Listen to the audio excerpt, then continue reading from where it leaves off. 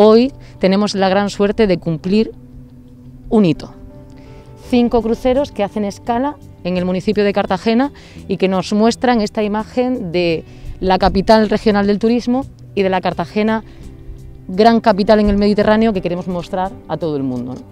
Se están haciendo, como digo, bien las cosas y eso nos permite que hoy 5.000 turistas de cruceros puedan pasear por nuestras calles. Y eso significa para Cartagena varias cosas. En primer lugar, como he dicho, es que somos un destino seguro, que genera confianza y que estamos preparados para el COVID y que los esfuerzos que se han hecho en nuestros museos, en nuestros centros de interpretación, en los locales de hostelería, en todas las instalaciones turísticas, han dado su, fruto y estamos consiguiendo esos buenos resultados.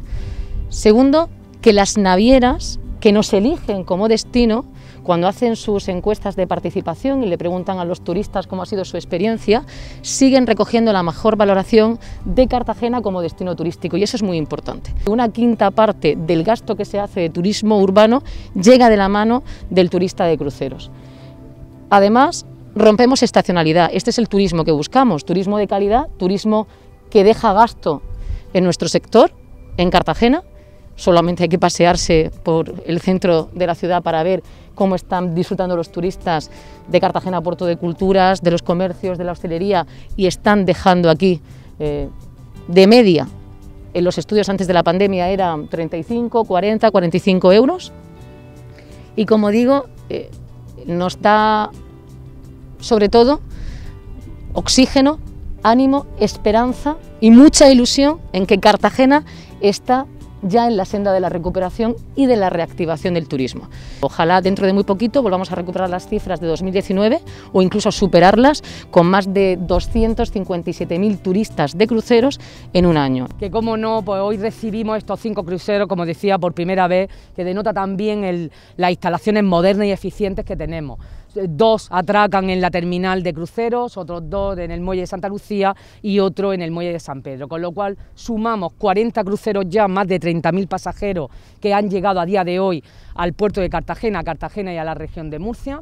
Eh, tenemos la estimación ya cerrada de 75 cruceros y más de 60.000 cruceristas. La realidad que pone de manifiesto es que eh, la ciudad de Cartagena es una ciudad totalmente segura para el turismo, es una ciudad totalmente segura para los cruceristas. En la actualidad, dentro de eh, los más de 600 establecimientos adheridos al sistema de calidad SISTE, que es un sistema de calidad promocionado por la Secretaría de Estado de Turismo, aproximadamente 150 establecimientos de esos 600, 150 establecimientos son, pertenecen al municipio de Cartagena.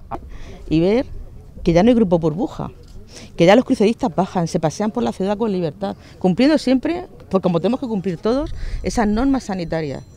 Pero están disfrutando de nuestra ciudad ya con libertad, que es lo más importante que tenemos en la vida.